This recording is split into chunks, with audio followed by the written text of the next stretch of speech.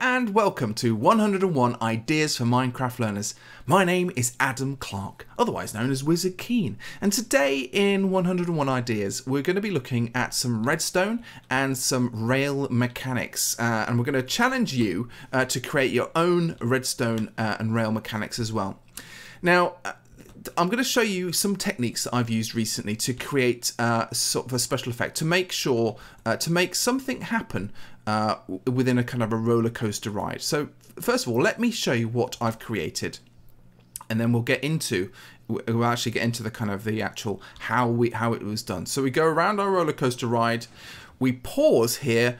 We get revealed a picture and then we carry on our, our roller coaster ride. So it pauses for a short period of time we go along here, we get stopped, we get stuck, it closes that again, it resets itself, and then the minecart carries on uh, going. So so there's there's quite a lot of different things happening here all at the same time. Let's let me jump off this and uh, try and stop this from going round. It's going to go around once more. I'm going to stop it over here. I think it's just uh, boop. There we go. so let's go over that uh, slowly because it's almost like done in like oh it's too fast I don't know what's going on. Uh, so there's a couple of things going on here. We uh, the minecart comes around the corner and gets stuck here, and while it's stuck there, these pistons retract, and uh, and we get to view this spooky picture behind. Once the pistons, once over, then a little bit of time uh, it happens, a delay, okay, and then once that delay is over, uh, our minecart gets pushed again. We get we get going, and this resets. It closes up again. So we uh, uh, we close the, this gap, so we can't see the painting anymore, and it and it goes round again. So you could this could be really really long. It could this could be just one set of it as well. But the thing is that the this thing resets. So it means that uh, you know if anybody else comes along, they're going to get us kind of a spooky thing as well and we can uh, we can kind of change the delay of that at the same time. Okay, so let's talk about how all some of this works. So there's, some bits and pieces. So as, as you probably know, you can power rails with the power rail over here. Uh, over here, this square thing, okay, is called a detector rail. And what happens with the detector rail is that when a minecart goes over it, okay, it actually sends a signal. Okay. Um, Let's do another one. Okay. Uh, and that... there we go. It's all resetting itself. It thinks that uh, a minecart's come over it. Uh, so when a minecart runs over this one, it triggers a signal. Uh, and this goes into this contraption over here. Now, uh, I'm going to be talking a little bit more about this. This is called a flip-flop, okay? Uh, and when I was trying to solve this problem about, you know, how do we how do we delay a signal? How do we maintain a signal? Okay, uh, for a period of time and then turn that signal off again. Okay, so and and this was part of my solution because I don't know if you know, but if it once if you've got a detector rail, okay, it uh, it will turn on and then immediately turn off again. Let me let me show you. Let, let's let's do an example over here. Okay, uh, get to detector rail and we'll put down some rails here and we'll go do do do do do do like this. And then we'll have the detector rail there okay? Put some redstone down. Uh, get our detector rail on okay? You can see it uh, immediately kind of has that over it as well. And then I'm going to put a redstone lamp there okay? I'm going to get into my minecart over here. And uh, we're going to go along. And we're going to look at that lamp. And then the lamp goes off. So it's good for doing things like that. You could open doors and things like that, but it would immediately close down. And I wanted these uh, the detector, the, the the thing to pause for a period of time. Now I thought originally we could just do that with repeaters, and there are several repeaters around the edge of here uh, that slows the signal down. Okay, but that this one here so we got we got this one going to this thing and I'll talk about that in a minute. So this one goes round the corner around here all the way around here. So this signal is all about this block here. So this once you get stuck on here it takes a little bit of time okay? It comes all the way around the corner all the way up here and then it finally triggers this. This pushes this forward uh, triggering these um, uh, these powered rails under here, and then off you go. So that is that pauses the player on the minecart for as long as you've got um, a kind of redstone repeaters. You know, so you can you can make you can make this as long as you like. You can have it for like five minutes, kind of, and the redstone signal just just sort of working its way around. But that didn't open and close these things. Okay, so this is what this is. So this is called a flip flop. Okay, and it flips the signal on and off depending on when when we've got a signal. So here's it working. So once you go across there, this signal goes along here uh, and triggers the flip-flop. So it goes, I'm going into one state. And then after a while, when this other signal's gone around the back, and uh, once we've gone through our pause, this block again goes back into here and triggers it off and then turns it back again.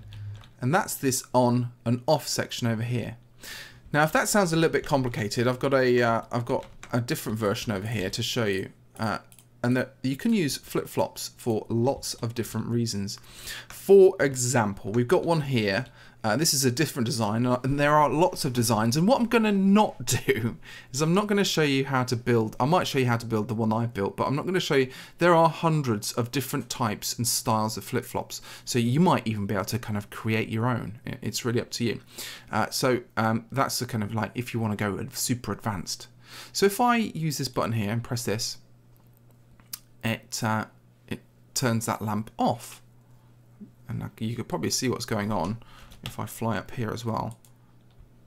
I'll go along there. So there's a signal there, okay. And that's going off. Why is it going off? And why is it going on? So if we think about this, if we put um, if I'm going to build something for you so you can kind of see how this one works, okay? Um, so what we've got down there, we've got a, a redstone lamp down here, okay? And then we've got redstone coming off. And the redstone signal isn't attached to the lamp unless, okay, the lamp, that the block above it is powered. To power the block above it, yeah, because uh, redstone signal from a lamp goes up, okay? So if there's a block above it, it will power it. And if there isn't a block above it, it won't power it. So there, there's your kind of simple mechanics. So this is this pistons, these pistons that push uh, this backwards and forwards, is it pushes this block that gets powered by the uh, redstone lamp underneath, and thus powering this lamp. And that's because we're using a switch. So switches are really good, they're really useful. But of course, uh, normally a switch, if we if we could just grab one over here, uh, is a delayed signal. So I'll just go on here and I'll pop it on here. Now watch what happens. I turn it on. It's on for a while, and then it pop, pops back out after a couple of seconds, you know, a couple of seconds, and then it turns itself off. Whereas this will maintain the signal uh, until it gets another poke. Okay. Now that's important because what we've got here, we've got a first signal that goes along, triggering this and allowing us, and then we've sent another signal that takes a little bit of time, goes all the way around the outside, goes all the way around here, and sends another signal to push the, the minecart forward. Okay, uh, and then and then it gives it another this this T flip flop thing. It's this flip flop machine rather over here gets uh, gets triggered again. So I'm going to show you how to build this one because this is like the one of the most compact ones over here. Uh, so let's grab some stone. I'll show you how it's built. Uh, so we kind of put uh, we put one block down here, uh, and this has got the our button on, if you like. Uh, and then we take and we go uh, one, two, and then we want a. Let's get all my materials so I, I know what I'm actually doing. One, two, three, and then we put that there. Put redstone in front of it. Okay, so it's facing this way. Then around here we need um, we need some other bits and pieces. Where are they? Oh, we need a redstone comparator and a redstone repeater. So we're going to put the redstone repeater facing in towards the sticky piston. Okay, then a redstone comparator facing in and facing forward, and then we need just a redstone torch popping over here, and then we're just going to need a little bit of redstone dust uh, to go around the corner. So it goes dump, dump, dump, boom, like that. Okay. So these two comparators are working in unison. Let's show you how this. Oh, and then this over here is the output. Okay, so let's get a lamp there to show you what's going on. These are good examples. Now, it, could be a lamp, or it could be, as we've got over here, pistons doing their job. So it's up to you. So what we're going to press the button, and it pushes it forward and leaves it there, which is really nice. And then whenever we get a new, new signal, boom, it does that. Now you can do all sorts of stuff. So I've taken, uh, my example is not a button, but a, uh, a detector rail. Okay, so whenever the that goes on, it sends a signal, and whenever it goes off, and then on again. Okay, so that's that's what I've been doing. that's that's my uh, my work that I've been up to uh, this weekend. Let's also put that redstone signal back on there. Let's, remember how to do it. If if that was too fast for you, just stop the video, watch it again. Also, just do take a look at all the other videos. Uh, there are tons of tons of uh, tutorials on the internet you can have a look at. Uh, so um, let's go through this once more again, and I'll show you from uh, up above uh, what it all looks like. Okay, so there's my little self. Okay, I'm going to push myself forward. I'm going around, and I get paused on here. Uh, you can kind of see some of the kind of uh, redstone whipping around the sides there, uh, triggering things. So we can see it's triggered on both sides. Okay, takes a little bit of time and comes around. It's a really nice mechanic, uh, and I'm quite pleased that it would work. It did take me a little bit of time, and the thing that took time was, uh, and the thing that I kind of enjoy about Redstone is that it's it's a kind of a little bit like a puzzle, and there's no right and wrong way of doing it. Okay, there's just uh, uh, there's just different ways of doing it. And that might sound a bit crazy, uh, but it's absolutely true. I'm going to wait for this minecart to come around. There we go, get rid of it. Otherwise it would go around forever.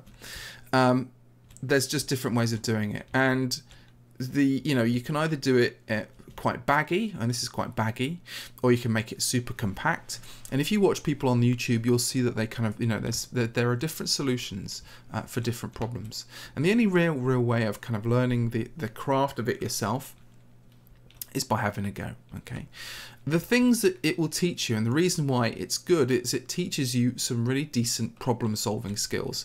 Problem solving skills are transferable into many different walks of life uh, and you can use them uh, to solve creative problems or just sort of uh, lateral thinking or, uh, or kind of just critical thinking problems as well. Uh, so these skills are wonderfully transferable and I suppose what makes it, it's what makes Minecraft such a, a sort of a uniquely uh, educational and uh, or sometimes frustrating game to play at the same time. I hope you've enjoyed that uh, little demonstration. I'm going to leave this as a schematic in the description below and you'll be able to download this and use MCEdit to edit this into your own world if you want to have a closer look at it and see how it all works. Until then, I just want to thank you very much uh, for watching and I'll see you all later. Until then, Bye!